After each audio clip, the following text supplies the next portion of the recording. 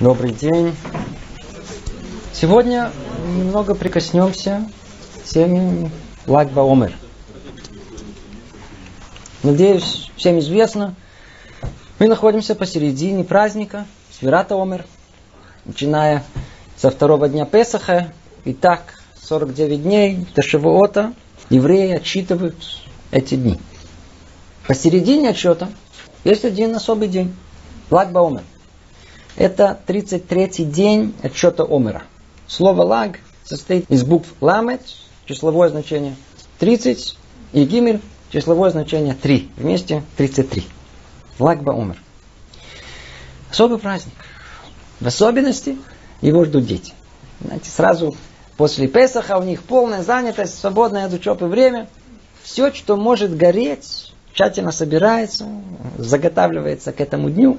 В этот день вечером все они собираются вместе, жгут костры, картошку пекут, кумзы сделают. А, пришел долгожданный Лагба умер.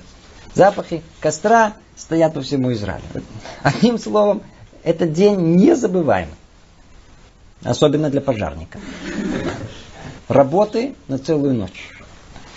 Заодно, кто повзрослее, едет к могиле Ражби, на горе Мирон. Сотни тысяч людей вместе молятся, поют, едят. Все вокруг костров. Кто был, говорит, что это совершенно необыкновенное и действительно незабываемое зрелище. Ну, это еще не все. Заодно можно увидеть, как небритые мужчины вдруг в этот день побрились, звуки музыки раздаются, свадьбы устраивают.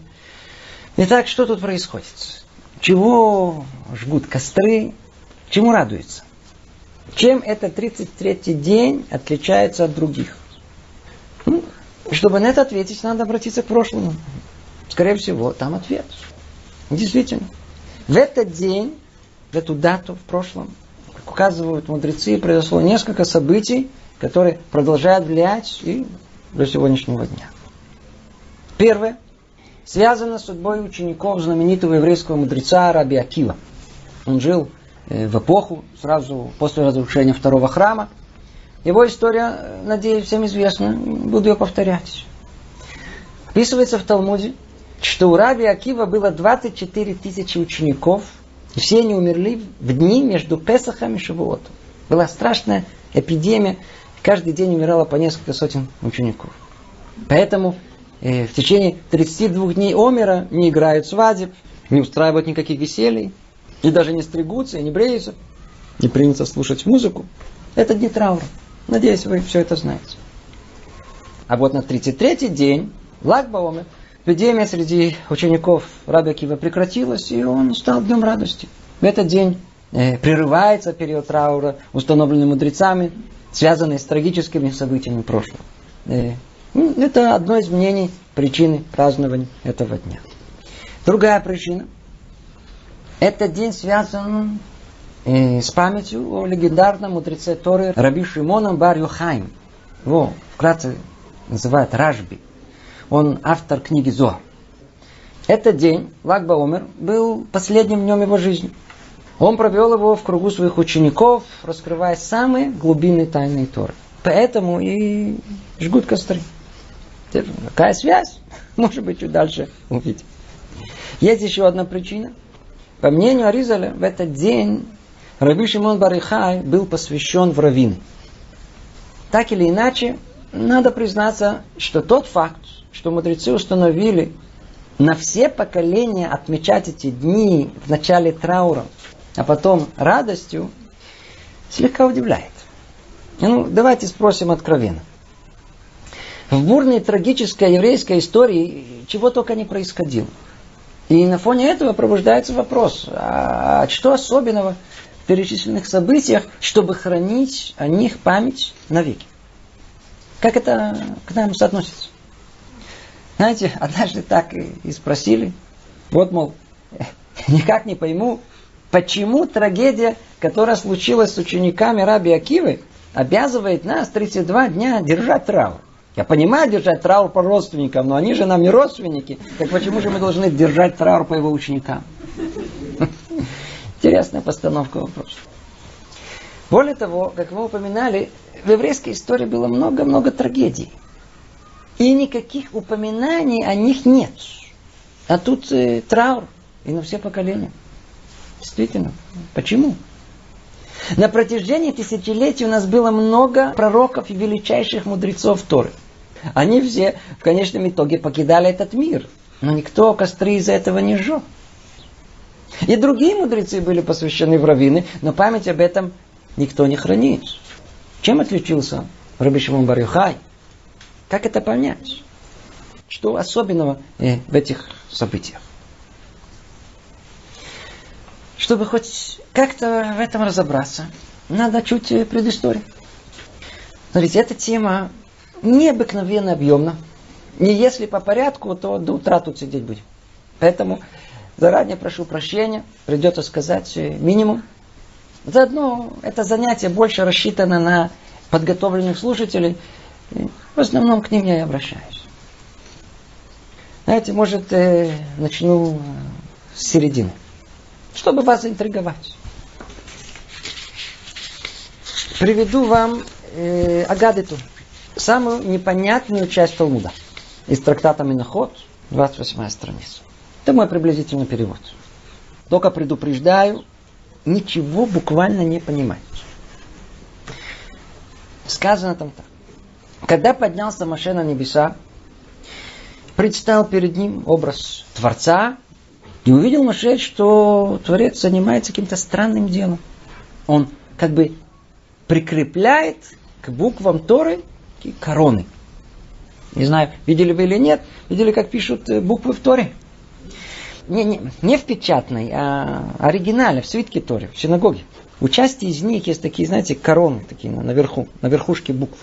Представьте себе буквы Торы, к примеру, э, гимель. И наверху такая коронка. Ее рисуют как триада, исходящая из одной точки, типа шина.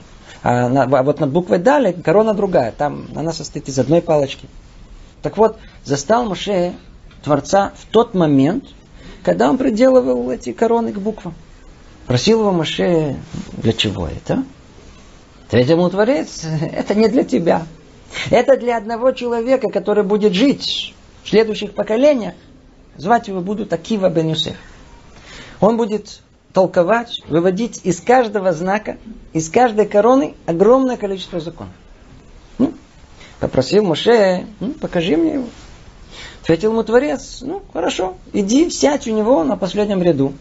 И так и было. Переместился наш учитель Моше по времени в будущее. Вот сидит и слушает он рок Раби Акива. Слушает, слушает, и слова не понимает. И уже силы покинули его от усилий понять. И тут дошел Раби Акива до одного вопроса. И спросили его ученики, Раби, откуда это? Ну, ответил им так Раби Акива, ну, это Аллаха на Маше Синай. Это закон, полученный Маше на горе Синай. А Маше там сидит. И как только Муше это услышал, как-то полегче. А? Это только первая часть. Дальше скажем продолжение. Но уже этого достаточно. Все как-то загадочно и пробуждает много вопросов. Попробуем спросить часть из них, которые касаются нашей темы непосредственно. Во-первых, вроде всем нам известно, что Тору получил наш учитель Моше. Он источник, он непререкаемый авторитет, и кто больше его может постичь глубины Торы. А тут вроде получается, что Раби Акива, который жил 1200 лет после него, как бы лучше в ней разбирается, э? дает урок, и сам э, учитель Моше не понимает его. Как это понимать? Во-вторых, чем отличается Раби Акива, что именно для него Творец прикреплял корону? Ведь было много других знаменитых мудрецов Торы во всех поколениях.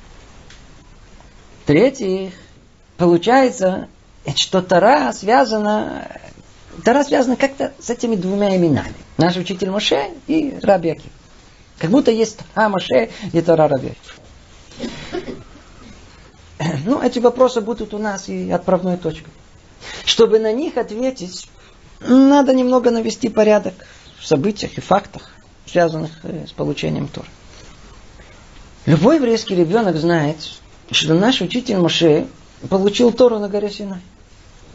На следующий день после Синайского откровения, 7 Сивана, Моше поднялся на гору Синай на 40 дней, чтобы получить там Тору. Какую Тору он там получил? М? Ту, которую мы держим в руках, синюю. То, что в наших руках называется Тара письменно. Хотите, назовите хумаш, книжек. Письменную Тору э, записал Маше под диктовку Творца уже после того, как спустился. Более того, эта запись растянулась на 40 лет, ну, в течение странствования по пустыне. Да что же Маше получал 40 дней и ночей на горе Синай? Он же там ничего не записывал. О, это была Тора устная. Что это за Тора? Не наша тема, чуть напомню. В общем, коротко. Что есть Тора? Без этого ничего не понимаю. Когда мы держим книгу в руках, это может сильно привести в заблуждение. Ну, книга, книга. Тара это не книга. Тара это сама реальность. Сказано, что Тара предшествовала творению мира. Более того, сказано, что Творец как бы смотрел в Тору и творил этот мир. То есть Тора это, это точный план мира. Там, конечно, цель творения и пути его осуществления. Там смысл и содержание человеческой жизни, а заодно и всего мира. Тора это мир такой, как он есть. Во всей своей неимоверной сложности. Ну что? Этот реальный мир скрыт от обыденных глаз. Толстой перегородка человеческих страстей, привычек, эмоций, фантазий. И только тот, кто сумеет очиститься от всех пристрастий человеческих, сумеет добраться до нее. Вот так и было с нашим праотцом Авраамом, который первый в мире очистил свою душу и нашел в ней Тору. Поэтому не должно удивлять, как так, что соблюдал заповеди. Ведь Тора еще э, не была дана. Верно? Тора не была дана. Но для тех, кто ее взял, то, то есть кто не ждал, а кто ее искал, она всегда была. Авраам сам докарабкался до нее. Образно говоря, взобрался на небо. Его никто не обязывал все соблюдать. Он сам это понял. Авраам первый раскрыл Тору. Но это было э, познание индивидуальное. А вот э, исправление мира, повелеваемое э, в Торе, могло осуществиться только через познание общее.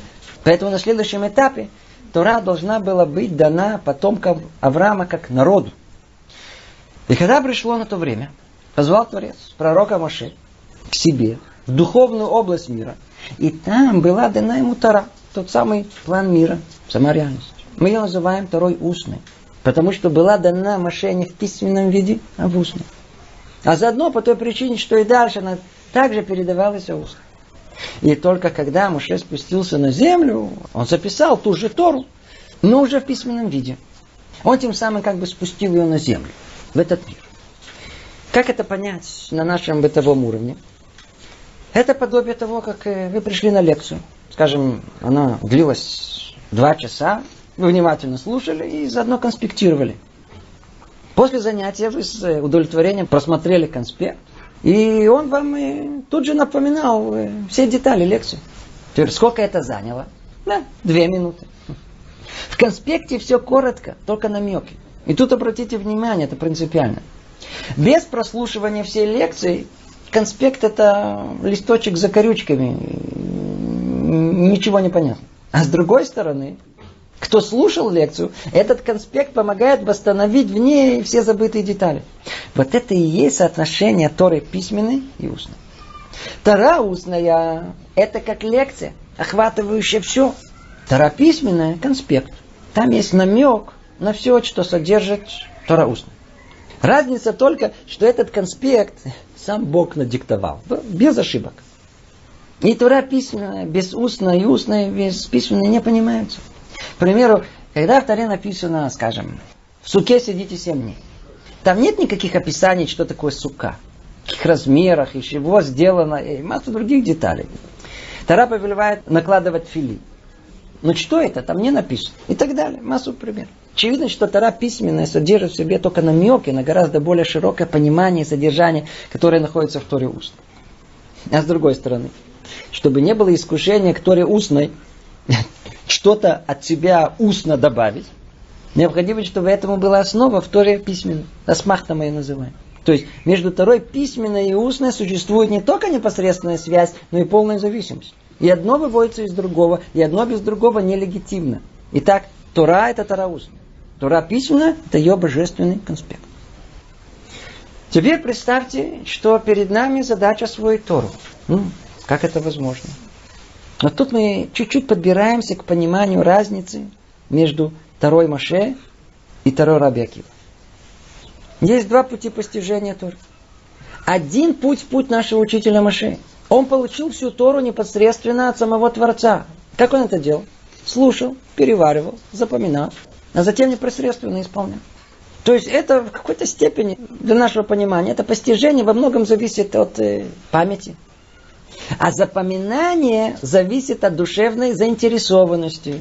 Чем больше заинтересованности, э, память лучше работает. Память зависит от открытого, жаждущего сердца. И вот подобная передача Торы продолжалась много поколений после Маша. Сколько? Столько, сколько существовали пророки у нас.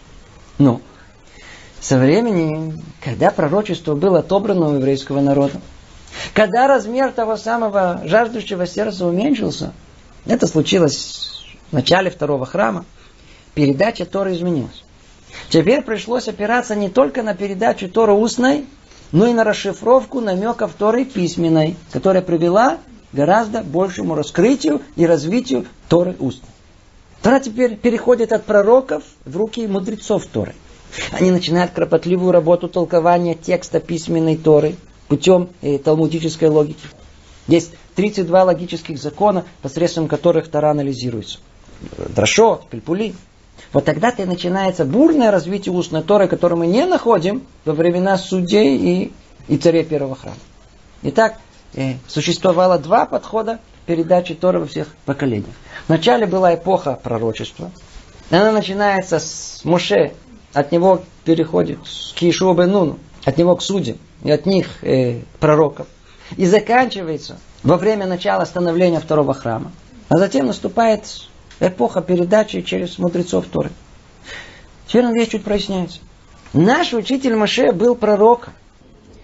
Раби Акива представителем мудрецов Торы. Точнее, Муше приобрел Тору как пророк. Раби Акива постиг ее как мудрец, человеческим умом.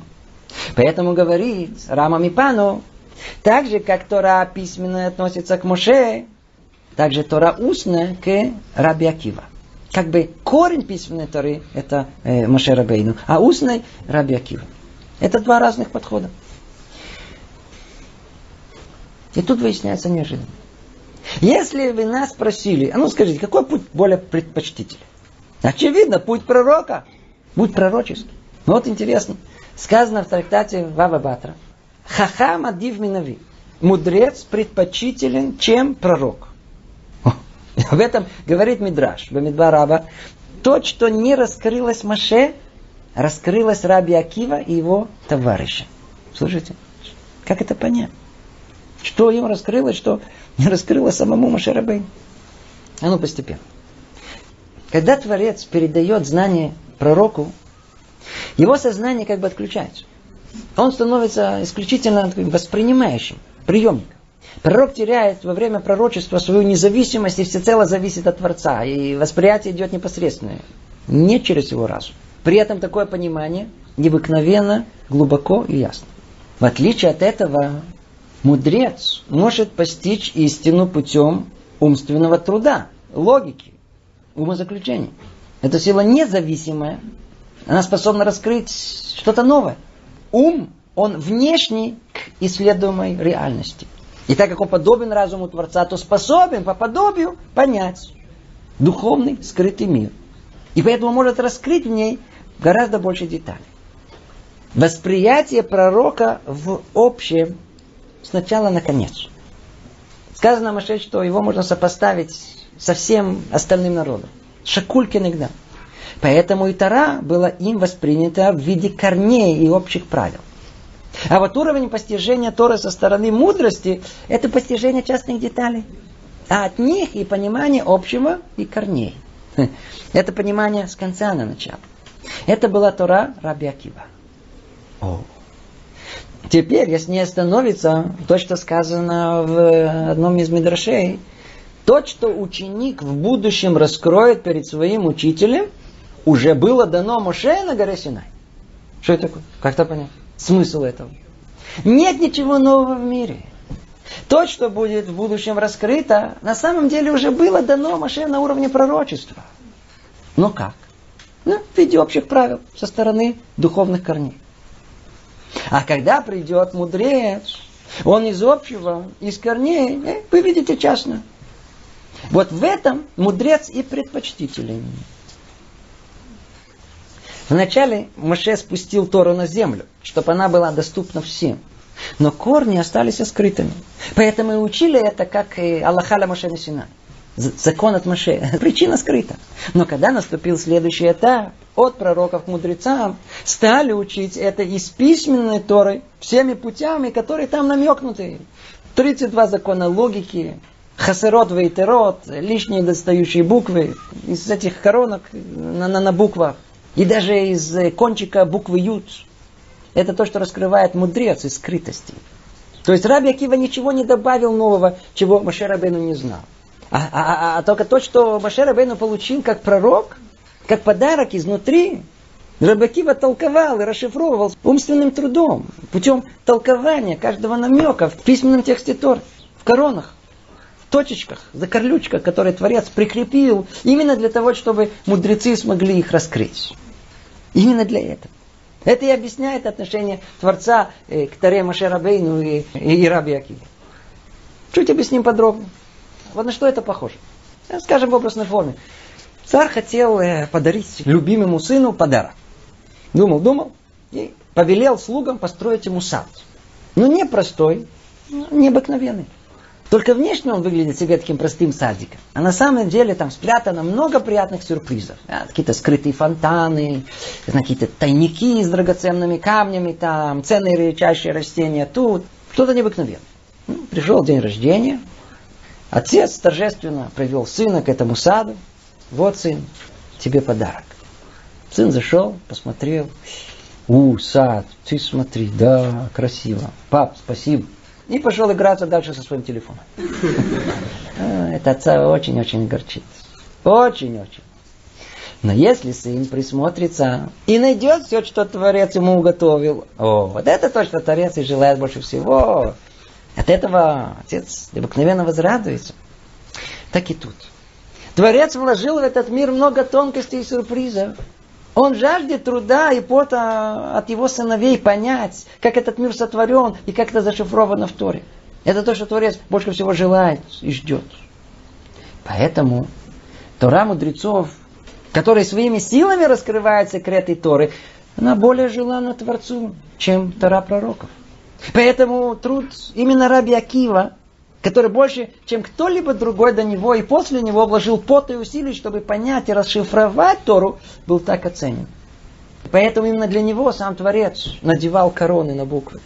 Ведь сказано э, в буквах Раби Акива, каждую корону над буквой он трактовал 365 путями.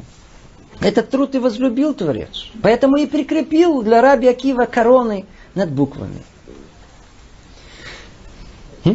Надеюсь, чуть прояснилась та агада, с которой мы начали. Маше не понимал Тору Раби Акива, потому что Раби Акива говорил о частных деталях, которые он вводил путем логики. А Маше Рабейну знал это как общее правило, которое он постиг как пророк. Получается, что все включено в Тору письменно. Но Маше не понимал это тем образом, который понимал это Раби Акива. Поэтому не хватало ему сил. И это продолжалось до тех пор, пока не услышал, что сам Раби Акива отвечает, ну, это закон от Маше с горы Синай.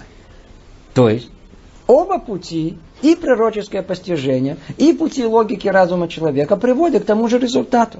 Только пути постижения разные.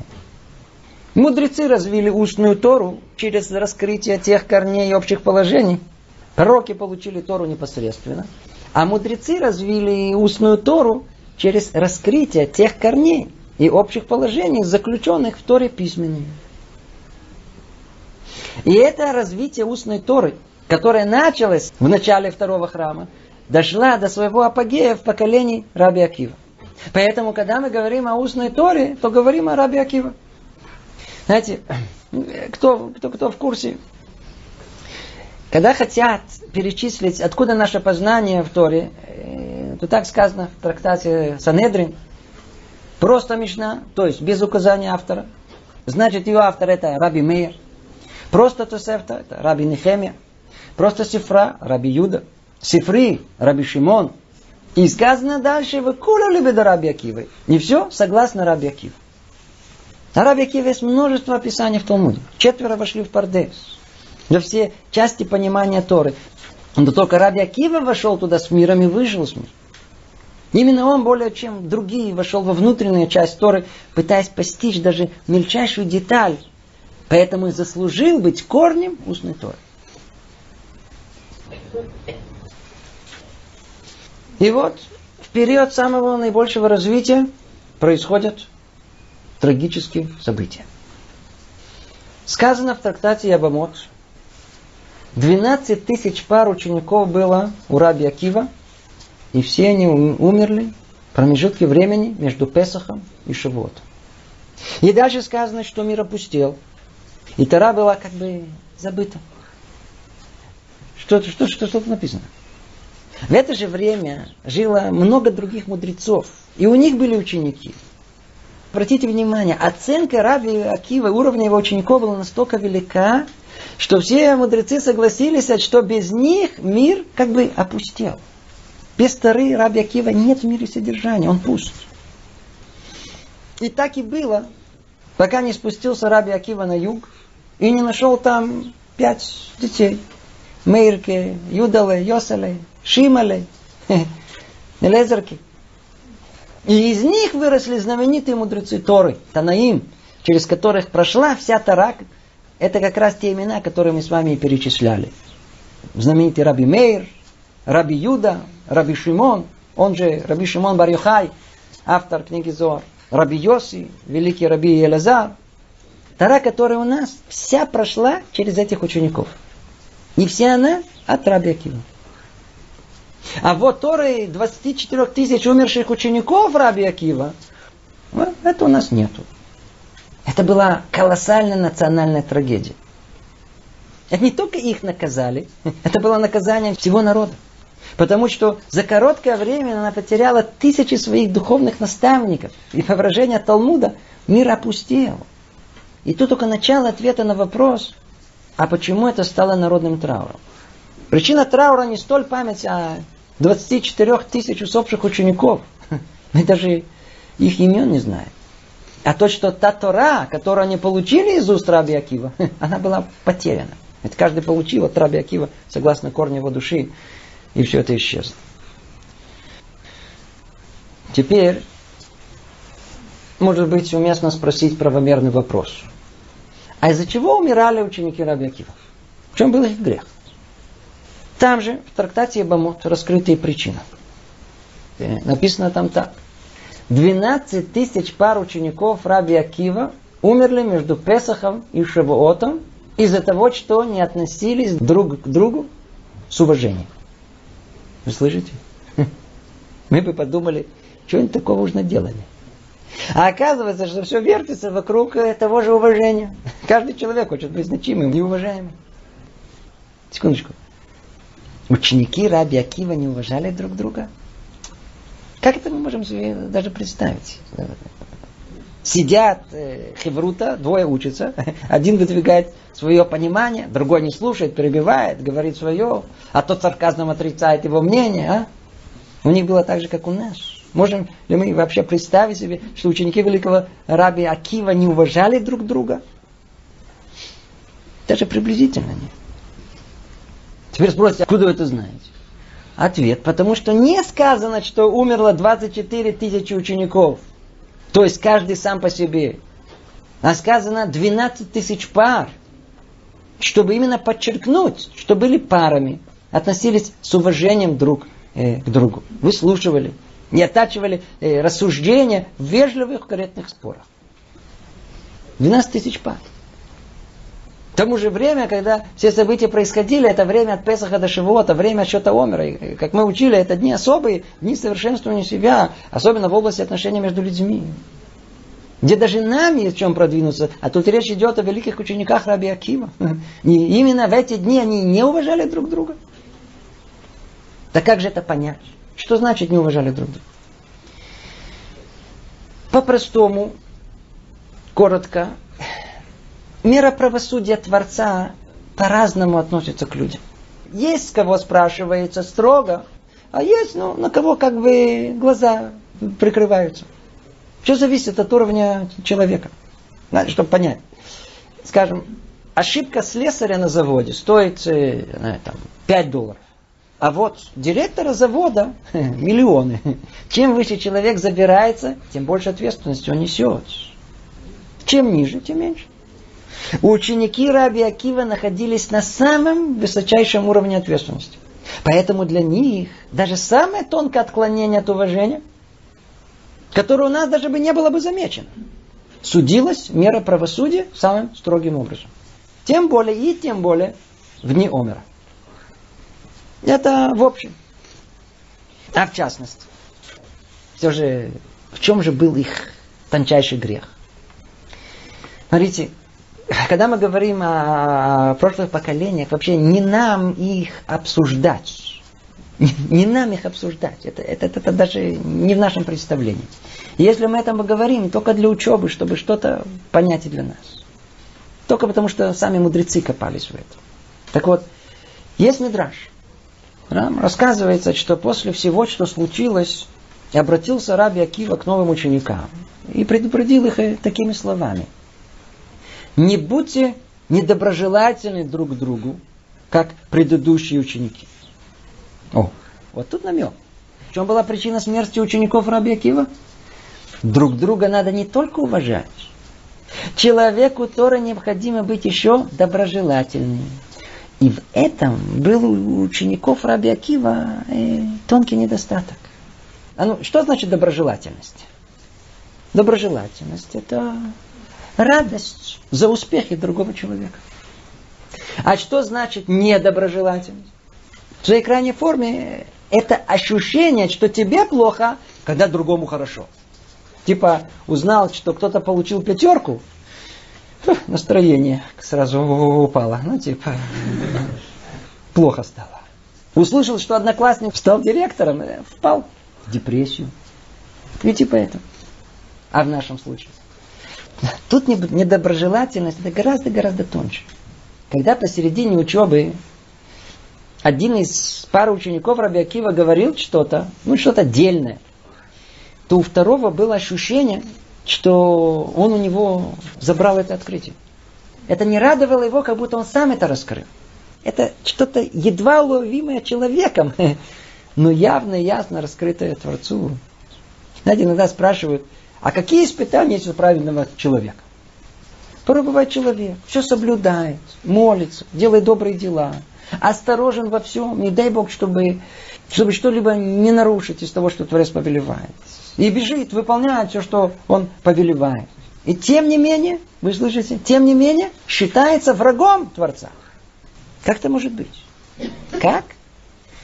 Мешает ему, что другие также праведно себя ведут также любит Творца и исполняет его повеление. То есть получается, что такой человек все соблюдает, но в конечном итоге не из любви к Творцу, а из любви к себе. Не из почести к Богу, а к себе. Вот и лакмусовая бумажка даже и для нас. Каждый может себя проверить на своем уровне. Он ищет почести себе или Творцу. Как? Если он видит своих друзей, знакомых, преуспевающих в учебе и служении, и при этом рад за него всем своим сердцем, ну, признак, что желает почести небес. Знаете, один э, глава Ешивы показал с гордостью знаменитому рабу Деслеру на своих учеников, вот, мол, видишь, с каким упорством они учатся. Спросил его Рав Деслер, «Э, скажите, пожалуйста, а если бы вы увидели, что так же хорошо учится в другой Ешиве, вы бы точно так же были бы рады и горды за них? Если нет радости за почесть Творца, значит тут примешана почесть самого человека. И как она добивается? И вот тут мы пришли к очень важной точке понимания. Она добивается посредством Тары. О, вот это уже смертельный номер. Вот это уже опасно. Это опасная зона. Теперь, надеюсь, яснее становятся слова мудрецов в Перке вот. Тот, кто пользуется короной Торы, нет у него права жизни. То есть, если есть примесь, хоть немного лишнего пристрастия к учебе Торы, чуть-чуть себе, э, ну, чтобы уважали. Вот, мол, Раф, э, вот, мол, знаю. Э, лучше, чтобы не жил в этом мире. И чем выше человек поднимается в духовности, чем больше он раб, тем больше к нему требований. И тем более, тем более, когда речь шла о высочайшем уровне учеников Раби Акива. У 12 тысяч пар учеников Раби Акива внешне все было на высочайшем уровне уважения. Никто бы не придрался. И только там внутри, только сам Бог мог различить ту толику досады из-за того, что и его хеврут, его напарник э, тоже так же преуспевает. У него тоже прекрасная идея возникла. О, это уже воспользуется короной Торы. Поэтому смерть учеников Раби Акива произошла именно между Песахом и Шивот. Потому что именно эти дни являются днями почести Торы, днями приобретения Торы, истинного духовного роста. И именно в эти дни ученики Раби Акива не только что не поднялись и не справились, а остались такие, как они есть. Поэтому и пробудили высшую меру правосудия и строгости. К тому же основная миссия учеников Раби Акива была в том, чтобы передать Тору Раби Акива дальше, до все поколения. Как мы упоминали, это корень всей устной Торы, это вершина. А там, где вершина, там и требования особые. Не только что такая Тора должна была быть передана в полноте и совершенстве, но чтобы и те, кто передают эту Тору, должны были быть совершенны. И если в них есть какой-то недостаток, это уже не та Тора. Вот поэтому, согласно их уровню, по мере правосудия, уже не было места в этом мире. Как известно, после этих трагических событий указал Раби Акива на побеление Тары «возлюби ближнего, как самого себя» и установил. Знаете, это большое правило в Торе. То есть это великое правило, от которого зависит, будет Тара существовать или нет. На уровне практическом основная работа в эти дни – исправление своих человеческих качеств. Ведь, как мы раз уже говорили, не может поместиться небесная, святая и совершенно абстрактная Тара в сосуд нечистый. Свой характер надо менять. Поэтому каждый год установили в эти дни изучать Перкея вот, как подготовка к Шивоту и все остальное, о чем мы говорили в прошлом. Так вот, корень всех этих изменений в качествах человека, это вегавта, возлюби ближнего, как самого себя. Но это отдельная тема. Не будем ее трогать, иначе улетим в другое место. То, это два слова, почему были наказаны ученики Раби Акива. Почему траур о них до сегодняшнего дня. Итак, скоро Лагба умер. В этот день траур прекращается. Не то, что траур прекращается, а этот день еще установлен как и день радости. Ну, костры жгут, все идут на Мирон, на могилу кражды. Давайте попробуем это понять чуть поглубже. В этот день не только прекратилась эпидемия, и ангел смерти оставил учеников Раби Акива, а в этот день, как мы уже упоминали, произошли еще два события. В эту дату уполномочили пять учеников Раби Акива, и среди них Ражби, равинским званием. В эту дату покинул этот мир сам Раби Шимон Барихай. И это причина радости в этот день. Ну, насчет первой причины понятно. Ведь когда Раби Акива удалось передать Тору своим новым пяти ученикам, тем самым Тора Раби Акива была спасена. Как сказано в трактате э, Гетин, сказал Раби Шимон ученикам, учите мою Тору. Ведь она часть от части, трумот ми трумот от Торы Раби Акива. В этом смысле, Лагба Омер, когда были даны полномочия пяти ученикам Раби Акива, это был как бы день Синайского откровения. А, а, чуть проясним. Есть известное противоречие. С одной стороны сказано, что поколение выходцев из Египта приняли дарование Торы с радостью. Сказали, э, что сделаем и выслушаем. На Севенишма. С другой стороны, Мидраж говорит, что Творец дал им Тору насильно, вопреки их желанию. Кафалем харка гигит. Как это понять? Разнесяет Мидраж. Тору письменную приняли с радостью. А вот устную, которая требует э, колоссальных усилий, чтобы ее усвоить, э, не хотели. И только около 800 лет после этого, находясь в изгнании в Вавилоне, когда э, происходили события, описанные в Мегалат Эстер, Пурим, вот тогда первый раз устную Тору, то есть авторитет мудрецов, приняли с радостью. О, это было э, началом развития устной Торы. И как было сказано, э, свой апогей это э, развитие достигло в Акива. Поэтому тот день, когда Тара Раби была спасена и передана верным ученикам, был как бы днем принятия Торы заново. Как бы днем Синайского откровения устной Торы. Поэтому и установили Лагба Омер как день радости принятия устной Торы на все поколения. Поэтому такой праздник. Ну, это понятно со стороны передачи равинского авторитета. Но почему празднуют день смерти Ражды? Да еще кострами. Ведь, в принципе, должны были установить в этот день пост. Как, например, есть кто постятся в день смерти нашего учителя Маши. Как это понять? Интересно. Раби Цада какой объясняет это так. Когда умирает мудрец, корень души которого из письменной Торы, в день его смерти устанавливают пост. А мудрец, корень которого из устной Торы, наоборот. День его смерти – это день радости. В принципе, такой день должен был быть установлен в день смерти Раби Акива. Но из-за того, что он погиб самой жестокой трагической смертью, то день радости установили, но не в этот день, а в день смерти его ученика Раби Шимон Барюхая. Надеюсь, всем известно, кем был Раби Шимон Барюхай. Он был тем учеником, который продолжил Тору своего наставника, Раби Акива. Именно он развил и передал своим ученикам великие секреты Торы, которые были э, впоследствии записаны и известны теперь нам, как книга Зоар. Она раскрывает потайной, истинный смысл, скрытый в Торе. Трудно найти и, представить еврейский дом без книги Зор. Не так просто понять, что там написано. Но кто достаивается этого, видит огромный свет и тепло, которое исходит из Тор. Так вот, в тот самый день, который был последним в его жизни, Раби Шимон Барюхай провел со своими учениками, раскрывая им самые заветные секреты Торы. То есть э, ту часть Зора, известную как э, Идразута.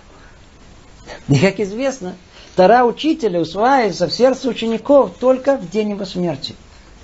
И заодно, так как сам Ражви завещал ученикам отмечать день его смерти не трауром, а радостью, то, как вы понимаете, есть достаточно причин, чтобы этот день, 33-й день Омера, стал днем радости на все поколения.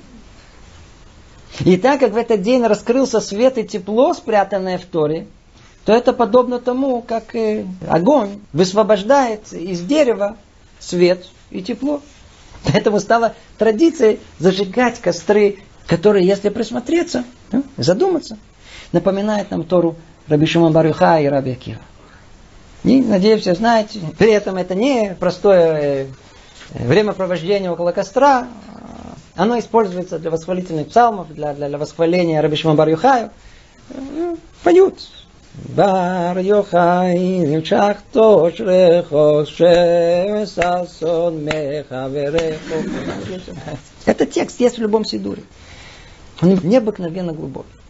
Никто не удостоился больше почести, чем Раби Шимон бар Ведь никто не повлиял так на все поколения, как Раби Шимон бар Знаете, может быть, чтобы понять поглубже, что было сказано, поделюсь с вами тем, что я однажды слышал от истинного мудреца Торы нашего поколения, Раби Муше Шапира.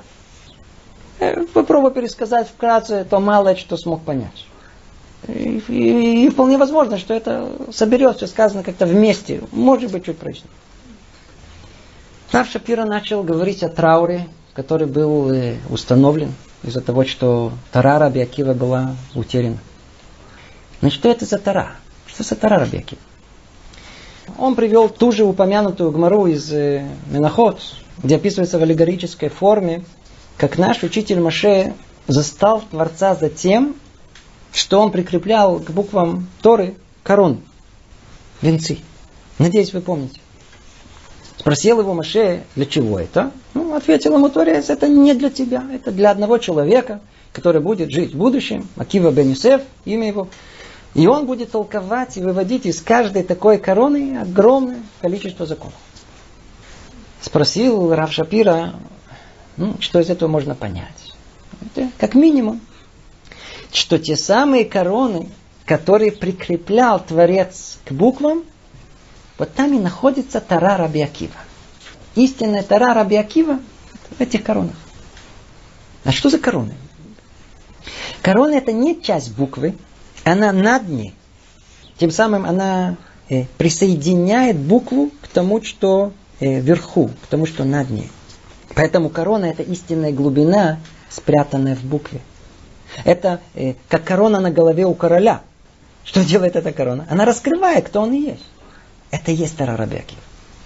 И вот интересно. Сказал Раб Шапирата. А ну, откроем Талмуд. Там Раби Акива упоминается много-много раз. Но там нет никакого упоминания, что мы учим Тору Раби Акива из корон букв. Нет даже намека. Где же Тора Раби Акива? Где? Э, есть мидраж буквы Раби Акива, но нету корон Раби Акива. Нет. Потому что в этих коронах э, нет простого понимания. Даже намека. Только внутреннее, скрытое содержание. Тайна, сод. В коронах секреты Торы. Короны раскрывали, э, какому корню принадлежат буквы. И эти корни не находятся тут, в этом мире. Они скрыты, они там, в 50-х вратах мудрости. Уже разбирали. Этот мир соотносится с семеркой. В этом мире есть э, вниз, вверх, вправо, влево, вперед, назад. И все исходит из внутренней точки, то есть в общей сложности 7. Теперь каждая семерка содержит в себе те же самые 7, э, в общей сложности 49. Э, и пока не спрашивайте, как это получается. Так вот, Моше были раскрыты 49 ворот мудрости этого мира. А вот 50 э, были скрыты. Он их не удостоился. Так вот, то, что не удостоился Моше, удостоился Раби Акива и его ученики. Они постигли эти 50-е ворота мудрости. Они находились в этих коронах. Они раскрывают связи с буквой, с тем, что над ними. Корона это сот, тайна. Поэтому и не описано в Талмуде. Корона в мире выше. Их функция э, соединить эти миры. Э, это врата 50. И это то, что учили 12 тысяч пар в Ешиве Раби Акива. Что учили в Ешиве Раби Акива? Тору Раби Акива. Там учили короны Раби Акива. О, вот сейчас можно глубже понять, э, что там произошло. Дело в том, что в месте, где учат короны, венец Торы, там придавлены особые требования. Чем ближе к короне Торы к царю, тем больше ответственности, там претензий больше, больше строгости. Митраж говорит, кто хочет удостоиться короны Торы, должен быть необыкновенно осторожен с каждым ее знаком. Осторожно. В короне находится почесть Торы. Понятие короны, по сути, означает почесть уважение кого-то. Корона букв – это кого-то, это почесть Торы. И в заслугу Раби Акива Творец одел короны на буквы. Тем самым Раби Акива как бы украсил, придал Торе почесть. И эту Тору хотел Раби Акива передать своим ученикам на все поколения. Вот тут и ключ к пониманию смерти учеников Раби Акива. Хотя на первый взгляд. Все заключалось в том, как было уже сказано, что недостаток был в их отношении друг к другу. И это верно. Но за всем этим недостаток почести по отношению к самой Торе. Ведь, как известно, кто пренебрегает мудрецом Торы, пренебрегает самой Торой. Знаете, Раф Шабир объяснил это глубже. Он привел известные слова Рамбам. Он говорит так. Несмотря на то, что Тору обязаны учить и днем, и ночью, все же большую часть мудрости человек приобретает ночью. Поэтому, кто хочет удостоиться короны Торы, так и написано, должен быть необыкновенно осторожен в ночное время, чтобы не растратить его на сон, еду и пустый разговор, а заниматься только мудростью Торы. Так пишет Рамба. Тору учат ночью. Ночью человек находится один, э, без хевруты. Когда учится днем с хеврутой, то надо как-то отнестись к нему, к остальным, спросить, ответить. Когда человек находится ночью, он сам собой. Он полностью сосредоточен. Поэтому и большая часть мудрости приходит к человеку, когда он может сам переварить то, что он учит. Не прийти к новым выводам. Начать надо вдвоем. Ох, и врута умитута. Или напарник по учебе, или, или ты умрешь. Начинать, конечно, нужно вдвоем. Но там в конце только один может достигнуть самой глубины. Кто хочет добиться короны Тары, должен беречь каждую ночь. Учить один. Так вот, Бейт Мидраш, Ешива, где учили Тору Раби Акива, это был Бейт Мидраш единиц. А в Ешиве отдельных э, нужно другое уважение. Учеба коронам это учеба индивидуальная. Учеба ночью, не совсем. Так удостаиваются короны Торы. В таком бет-мидраше надо вести себя совсем по-другому. Там каждый индивидуум, и нет ему подобного. Там каждый ученик царь, он исключительный. В таком месте нельзя просто так относиться к другим. У каждого есть то, что нет у другого. К царю относятся по-другому. К нему требуется особое уважение. Не как части общей. Откуда может прийти почесть?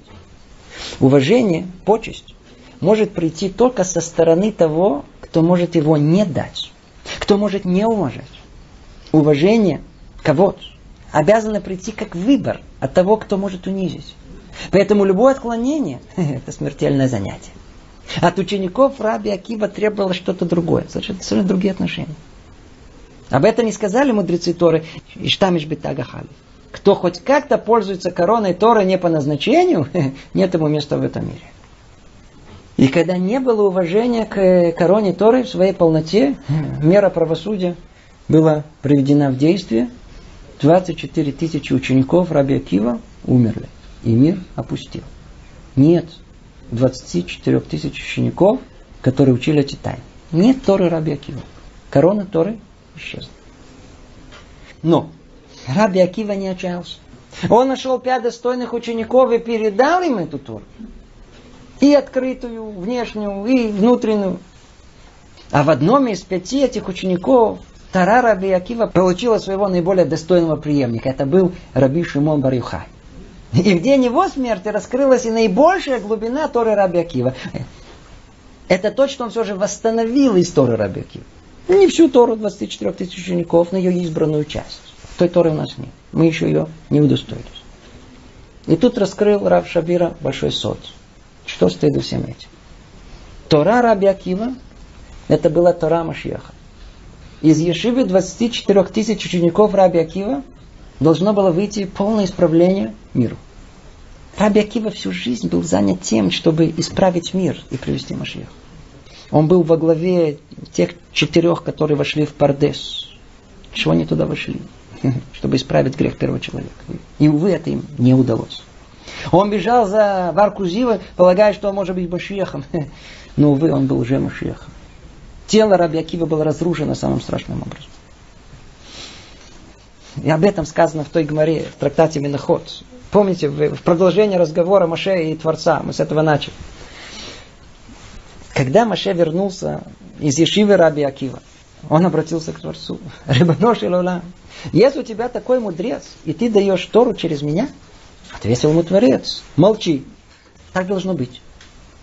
Тогда спросил Моше, ты показал мне его Тору? Ну, покажи награду за это. Показали Моше, как терзают тело Раби Акива железными граблями. Скрикнул Моше, это Тора и это награда за нее? Ответил ему Творец теми же словами. Молчи, так должно быть. Вы чувствуете, это агат, это порождает множество вопросов. Снова только, только чуть-чуть то, что сказал Рав. Что значит молчи? Нельзя было обратиться э, повежливее? Послушайте. Молчание – это то, что нельзя выразить словами. То, что можно понять, э, но не через слова и буквы. Раби Акива можно понять только через короны букв. Корона – это э, молчание букв. Это молчаливая часть буквы. Обратите внимание. Два раза ответил Творец Машера Бейну по отношению к Раби Акива «молчи». Тут не говорят. А Маше, так как он короны не получил, они не были его, то он спросил э, разговором, словами, буквами. А Творец ему ответил, тут не говорят, тут молчат. Это короны. А там, где короны, там мера правосудия. Там так должно быть. Так должно быть. Да. Раби Акива всю жизнь был занят тем, чтобы исправить мир и привести Машех. В книге Бамидбар находится проклятия пророка народов мира Билама. И в них, э, как то толкуют комментаторы, он упоминает и Машеха. Дарах Кохав Мияков и Кам Шевет Мисра. Да, намек, Кохав, Шевет, намек на Машеха. И как известно, Творец перевернул проклятие в благословение. Но в последний момент Биламу удалось все поднапортить. Ну, написано там. Я надеюсь, вы все это знаете. Как раскрывают мудрецы, благословения снова вернулись в проклятие. В том числе и о приходе Машиах. Как? Ему удалось испортить своим советом. Бог этих ненавидит распутство. Это все, что он сказал. И тогда царь Балак и Моавитяне, они послали своих дочерей, чтобы совратить сердце народа. И как нам известно из истории, им это удалось. Но тогда начала эпидемия. И погибло 24 тысячи человек. 24 тысячи парней. Вот это проклятие дочерей Моава висит на нас и до сегодняшнего дня. И этот грех распространен во всем нашем народе. Везде. Кроме Батей Мидрашот. Кроме Шивот. Поэтому кто там, должен исправить этот грех. Из Маава должен был выйти Машиах. Раби Акива родом от Рут Моавитянки. Поэтому на нем была особая миссия исправления проклятия в благословение. Поэтому он и основал Ешиву, которая должна была исправить этот грех. Вот это то, что раскрывает Рама Мипана, когда он пишет, что 24 тысячи учеников Раби Акива должны были исправить грех тех 24 тысяч умерших от эпидемии в Шитим из-за дочерей Муава. И если бы они исправили грех дочерей Муава, Машиах пришел бы сразу. Вот эту Тору, Тору Машиаха, Раби Акива учил своих учеников. Но она ушла из мира с их смертью. И возродилась благодаря Раби Шимон Барюха. И в наивысшей форме проявилась в день его смерти. Раби Шимон Барюхай ушел из мира раскрытием глубины Тары Машеха. Поэтому мы радуемся в этот день. Этот день, это день раскрытия Тары Раби Акива. Тары, который учится из корон. Тары, который дает свет и тепло. Тары, который будет вдохновлять нас до прихода Машеха. Всего доброго.